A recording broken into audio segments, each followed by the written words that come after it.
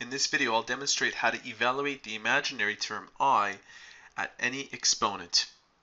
Before we tackle these questions, you have to keep in mind the following four things. The first thing is that i, on its own, represents the square root of negative 1. If we were to square this i value, we would end up with the following.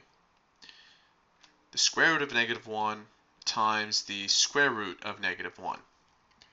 And we know from prior, prior knowledge that square rooting the same base twice eliminates the square root, leaving us with negative 1. So, i to the power of 2 is equal to negative 1. If we were to cube the i term, we would end up with the square root of negative 1 times the square root of negative 1 times the square root of negative 1. Now we just determined that two square roots of negative 1 is equal to negative 1. Therefore, the cube of i is equal to negative square root of negative 1. In other words, negative this term. And lastly, and to further simplify this part, negative i is equal to i to the power of 3. And lastly, if we were to fourth root, or sorry, fourth power i, we end up with the square root of negative 1 four times. This is equal to negative 1. This is equal to negative 1 due to this. That being said, we have negative 1 times negative 1 is equal to 1. So therefore, i to the power of 4 is equal to 1. Now I want you to pay attention to this next part. Any multiple of 4 will also equal to 1. So I've summarized my findings right here.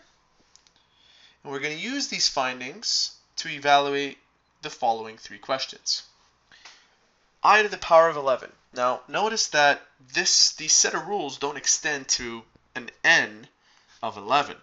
So what we have to do is break this i to the power of 11 down using our algebraic rules and figure out what this will reduce to.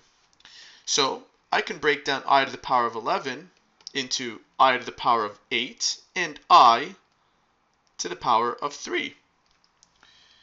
i to the power of 8, 8 is a multiple of 4, so this reduces to 1. That reduces to 1. There's nothing that you should write down. And i to the power of 3, we discovered, is equal to negative i. So therefore, i to the power of 11 is the same as negative i. Let's move on.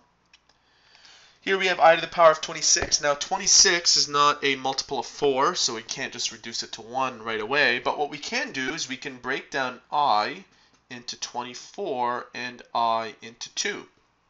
24 is a multiple of 4. 24 divided by 4 is equal to 6, so therefore this becomes a 1. And i to the power of 2, we learned from up here, is equal to negative 1. So i to the power of 26 is equal to negative 1. And lastly, i to the power of 16. I'll let you tackle this one. Is 16 a multiple of 4? It is. So the answer to this is simply positive 1. If you have any questions related to this lesson, feel free to comment below and also like our video to support us. If we didn't help with uh, this topic in particular, you can use our website at biology-forums.com and ask your questions there. See you soon.